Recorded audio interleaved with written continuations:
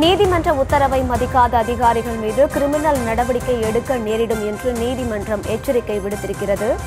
அது தொடர்பான அண்மை செய்திகளை பார்த்து வருகிறோம். நீதிமன்ற உத்தரவை மதிக்காத அதிகாரிகள் மீது கிரிமினல் நடவடிக்கை எடுக்க நேரிடும் என்று நீதிமன்றம் எச்சரிக்கை விடுத்திருக்கிறது. நீதிமன்ற உத்தரவை மதிக்காத அதிகாரிகள் மீது கிரிமினல் நடவடிக்கை எடுக்க நேரிடும் என்று நீதிமன்றம் எச்சரிக்கை விடுத்திருக்கிறது. நீதிமன்ற உத்தரவை ஏதோ அலுவலக உத்தரவு போல அதிகாரிகள் எண்ணுவதாகவும் நீதிமன்றம் தெரிவித்திருக்கிறது. அதிகாரிகளுக்கு நீதிமன்றம் பிறப்பிக்கும் உத்தரவுகள் அவர்கள் மேற்கொள்ள வேண்டும் என்றும் நீதிமன்றம் எச்சரிக்கை விடுத்திருக்கிறது. அது தொடர்பான அண்மை செய்திகளை பார்த்து வருகிறோம்.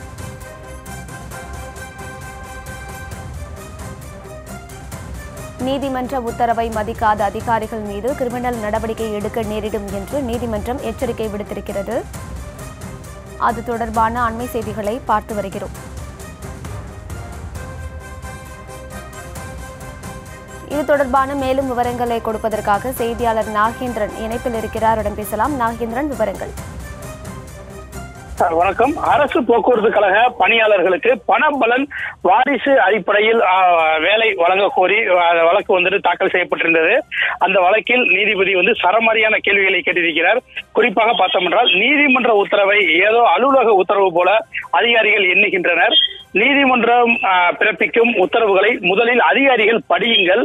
நீதிமன்ற உத்தரவை நிறைவேற்ற வேண்டிய இடத்தில் உள்ள அதிகாரிகளுக்கு நீதிமன்றம் பிறப்பிக்கும் உத்தரவை என்னவென்றே தெரியவில்லை. நீதிமன்றம் உத்தரவை மதிக்காத அதிகாரிகள் மீது கிரிமினல் நடவடிக்கை எடுக்க நேரிடும் என வந்து நீதிபதி வந்து எச்சரிக்கை விடுத்திருக்கிறார்கள். எச்சரிக்கை விடுக்கப்பட்டிருக்கிறது. அதே போல இது பார்த்தோம் என்றால் கரூர் மாவட்டம் குளித்தலை பகுதியைச் சேர்ந்த அஹ், அமிர்தவல்லி உயர்நீதிமன்ற மதுரை கிளையில் தாக்கல் செய்த மனுவில் பார்த்தோம் என்றால் எனது கணவர் கருப்பையா கும்பகோணம் அரசு போக்குவரத்து கழகத்தில் பணியாற்றி உயிரிழந்தார். இந்த நிலையில் தனது கணவருக்கு சேர வேண்டிய பணபலன்கள் மற்றும் வாரிசு அடிப்படையில் பணி வழங்க கோரி உயர்நீதிமன்ற மதுரை கிளையில் மனு தாக்கல் செய்திருந்தார். இந்த மனுவை விசாரித்த நீதிமன்றம் மனுதாரரின் கணவர் நானூத்தி இருபத்தி ஏழு நாட்கள் பணியாற்றி உள்ளார். எனவே கருப்பையா நிரந்தர பணியாளராகத்தான் கருத வேண்டும். எனவே அவருக்கு சேர வேண்டிய பணப்பலன்களை வழங்கி வாரிசு அடிப்படையில் வேலை வழங்க நாலு வார காலத்தில் மனுதாரர் மனுவை பரிசீலனை செய்து நடவடிக்கை எடுக்க உத்தரவிட்டு வழக்கு முடித்து வைக்கப்பட்டது. இதனைத் தொடர்ந்து நீதிமன்ற உத்தரவை அதிகாரிகள் நிறைவேற்றாததால் நீதிமன்ற அவமதிப்பு வழக்கு தொடரப்பட்டது. இந்த மனு மீது விசாரணையை வந்து நீதிபதி பட்டு தேவானந்தா அவர்கள் முன்பு விசாரணைக்கு வந்தது. அப்போது கும்பகோணம் அரசு போக்குவரத்து கழக நிர்வாக இயக்குனர் மோகன் மற்றும் பொது மேலாளர் இளங்கோவன் ஆகிய ஆகியோர் நீதிமன்றத்தில் ஆஜராகினர் இதனைத் தொடர்ந்து நீதிபதி நீதிமன்ற உத்தரவை நிறைவேற்ற மூன்று வருட கால தாமதம் ஏற்பட்டுள்ளது. தெளிவாக தெரிய வந்துள்ளது. போக்குவரத்து துறை துறையில் பணிகளை விதிகளை வரன்முறைப்படுத்துங்கள்.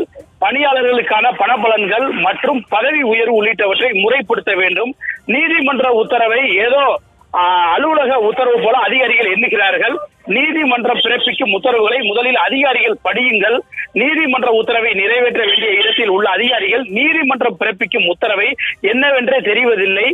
அதே போன்று நீதிமன்ற உத்தரவுகளை மதிக்காமல் அதிகாரிகள் இருக்கலாம். அதை நீதிமன்றம் வேடிக்கை பார்த்து கொண்டு இருக்க முடியாது. அனைத்து தரப்பு மக்களுக்கும் உரிய நீதி கிடைக்க கிடைக்கும் என்பதே நீதிமன்றங்களின் நோக்கம். இந்த வழக்கில் நீதிமன்ற உத்தரவை மதிக்காத அதிகாரிகள் மீது கிரிமினல் நடவடிக்கை எடுக்க நேரிடும் என கூறியதோடு இருப்பினும் இரண்டு நாட்களுக்குள் நீதிமன்ற உத்தரவை நிறைவேற்றாவிட்டால் நீதிமன்றம் கடுமையான உத்தரவை பிறப்பிக்க நேரிடும் என இந்த நீதிபதி பட்டு தேவானந்த் அவர்கள் தெரிவித்துள்ளனர். ஒரு நாள் பத்து தலைப்புகள் நூறு செய்திகள். இன்றைய செய்திகளில் அசத்தலான ஒரு மணி நேர தொகுப்பு செய்திகள் நூறு. நாள்தோறும் காலை ஆறு பத்து மணிக்கு மற்றும் இரவு ஒன்பது மணிக்கு நமது நியூஸ் தமிழ் தொலைக்காட்சியில் காண தவறாதீர்கள்.